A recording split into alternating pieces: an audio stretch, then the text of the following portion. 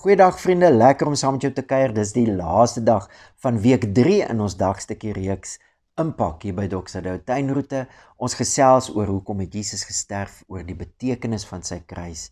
En my vertroue is terwyl ons lees en luister en en daar met die Here daaroor praat dat ons worship sal groei. Vandag kyk ons na 2 Korintiërs vers 20 tot 21 en ek hoop dat jy sommer die gedagtes kan oproep waaroor ons al gesels het. Onthou Paulus het tyd gevat want dit vat tyd om dit wat Jesus aan die kruis gedoen het te integreer deur my hele mens wees. Dit bepaal my lewe. Die liefde van Christus dring my. Ons lees saam vers 20. Ons tree dan op as gesande om Christus wil, asof God deur ons vermaan. Ons bid julle om Christus wil, laat julle met God versoen, want hy het hom wat geen sonde geken het nie, sonde vir ons gemaak sodat ons kan word geregtigheid van God in hom.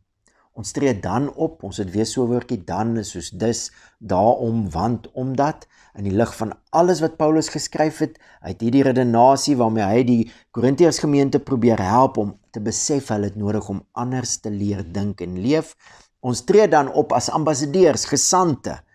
Ons vermaan julle, ons pleit, ons bid by ons bid julle is asof God deur ons vermaan. Ons gaan nou praat oor die pleit en die dringendheid. Laat julle met God versoen.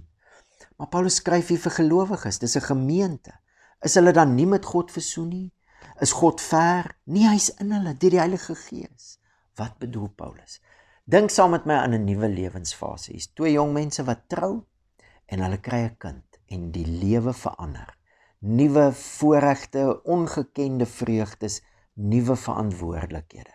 Nooit weer kan hierdie paartjie teruggaan na hoe die lewe was voor hulle kind gekry het nie. Hulle kan nie meer so dink en lewe nie want 'n nuwe fase het aangebreek. Selfs as jy na 'n ander land toe immigreer, jy moet aanpas by daardie land. Jy moet jou versoen met die nuwe lewensfase. As jy van Amerika af Suid-Afrika toe immigreer en ek weet dit gebeur nie, maar ek sê dit nou maar net sommer maar net om beter te voel, dan kan jy nie aan die regterkant van die pad bly ry nie. Jy gaan jou lewe in gevaar stel. Jy moet jouself versoen Dis wat Paulus hier sê.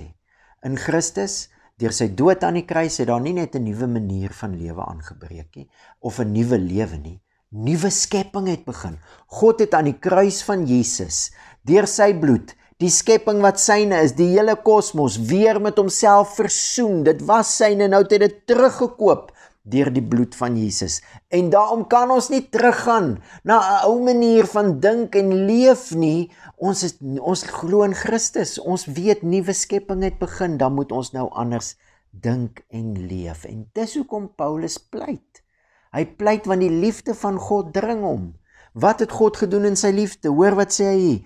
Hy het hom wat geen sonde geken het nie. Jesus het nog nooit sonde geken nie, maar Jesus het vir ons sonde geword sodat ons kan word die geregtigheid van God. Vriende, hier wil ek net gou 'n groot waarskuwing. Baie mense en ek in kluis het groot geword met die idee dat God as gevolg van die sonde, dit klomp woede in homself en en hy's regverdig omdat hy daai woede het en hy moet daai wraak uithaal op die mensdom. Hy moet ons straf en gelukkig het hy het Jesus gekom en hy daai wraak op hom geneem en nou is ons oukei. Okay. Vriende, dit is heidense godsdienste. In die tyd wat Paulus skryf, dis hoe die heidene gedink het. Jy moet die hele tyd offers bring om net hierdie wraakgierige afgode tevrede te hou want jy weet nooit waar jy met hulle staan nie. Dis nie die God wat ons leer ken in Christus nie. Die God wat ons leer ken in Christus het iets kom doen en ek wil jou nooi, hier's my oortuiging, gee 'n bietjie oorweging hieraan. Toe God in die liggaam van Christus sonde word vir ons. Toe vat hy die volle impak van die mensdom se sonde deur die geskiedenis wat was en wat kom op homself, daai verwoestende krag.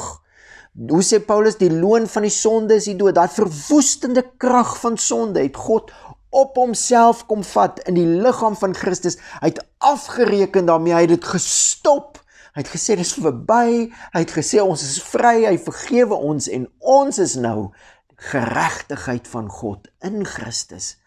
Ons is nou deel van God se regmaakspan. Die hele wêreld is nou weer syne en ons kan nou weer dinge in lyn bring met Christus, met sy koningskap. Hierdie uitnodiging is vir almal. Want een het vir almal gesterf, onthou jy? Maar baie mense gaan ambassadeurs nodig hê wat hulle iets laat beleef van hierdie selfopofferende liefde van God. Wie God is, wat ons leer ken in Christus. Hy was bereid om sonde te word vir ons sodat ons deel kan word van sy regmaakspan. Mag die Here jou seën terwyl jy verder reflekteer oor die betekenis van sy kruis vir jou.